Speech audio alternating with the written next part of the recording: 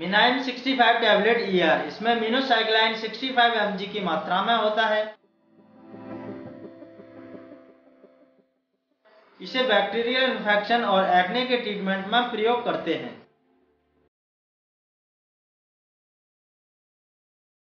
मिनोसाइक्लाइन antibiotic है।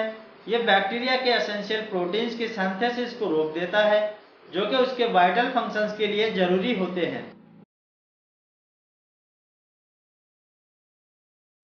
इसे doctor के बताए अनुसार डोज में और ड्यूरेशन तक लें।